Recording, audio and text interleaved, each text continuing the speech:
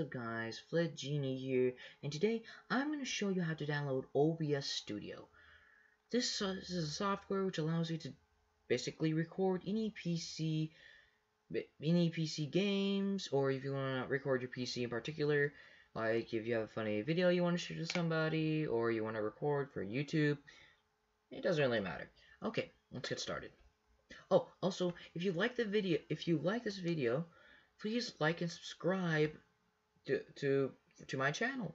If you want, if you want to see any other things you want me to, to do tutorials or any games you want me to see to see me play, please link it in the comments down below. Thank you. Okay, first off, we want to go to obsproject.com. OBS is short for Open Broadcaster Software. The software allows you to record your PC screen, as I said before, Okay, this link will be also in the description below. Once you're here, you wanna, you depending on which computer you have. Since I have Windows, I'm gonna click the Windows 7 Plus bar. Okay, this thing, uh, this is about uh, nine. It's a nine point. It's nine ninety four point one megabyte. It takes about 30 seconds to a minute to download. It's very fast. Um, I'm gonna wait for this to download, and I'll catch up to you guys. Okay, guys, it's now been downloaded. Okay, and since it's now been downloaded, you want to go to your downloads. Once you are here, you'll see it is right here. You want to click it. It's gonna do a pop-up, which is asking you if you want to make changes, blah blah blah. You click yes. After this, you'll be here. Once you're here, you want to click Next. I agree. This is the program folder. You can you can browse it. You can put it wherever you want. I just recommend you just leave it to download where it usually does. Click Next. Once you're to this screen, what you want to do is, personally, I would say just leave it as it is.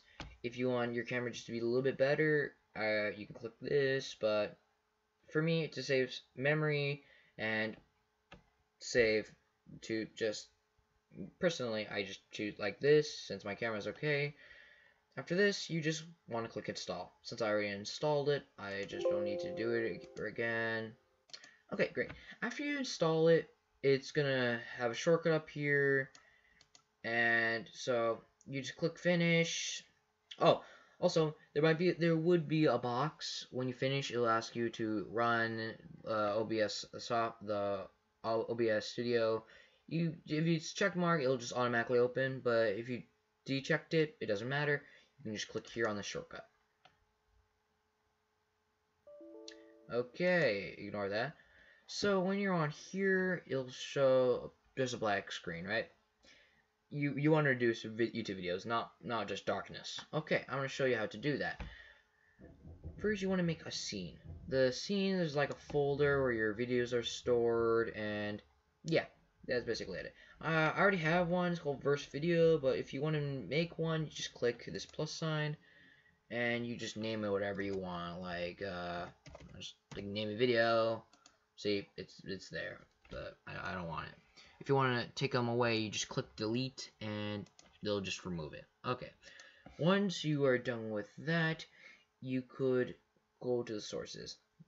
On sources, you can click this plus sign, and it'll show you a few things you can do. You Right now you want to record your screen, right? Okay, so you want to click display capture.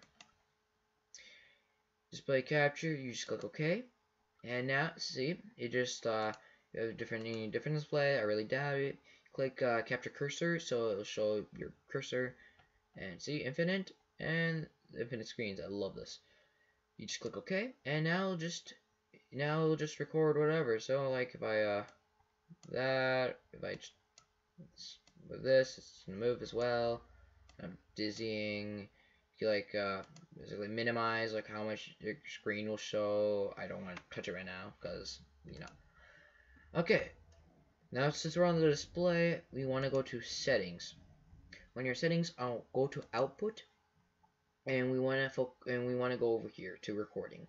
Streaming, you guys could do. but I don't really stream, so I'm not gonna go into that. in, in depth with it. So um, we're gonna focus on recording right now. just for beginners. Basically, you wanna make a folder where you could like do YouTube videos, uh, your videos basically. I just if you want to do YouTube, you just name it YouTube videos or whatever you want.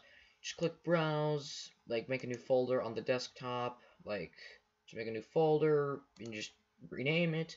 Find it, like go to the desktop, find out, see like I named it YouTube videos. You just click here, select the folder, ta-da, end story.